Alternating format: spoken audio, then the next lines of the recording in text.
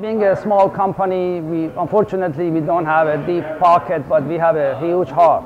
Being a printing company, it was you know it's difficult not to having the resources and uh, the tools or the people uh, to to achieve a dream to helping other people. That's why you know we found when we found the YMCA, who is the leader in helping uh, families and building strong communities.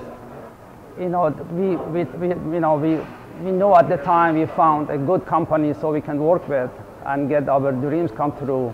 It was like a match made in heaven.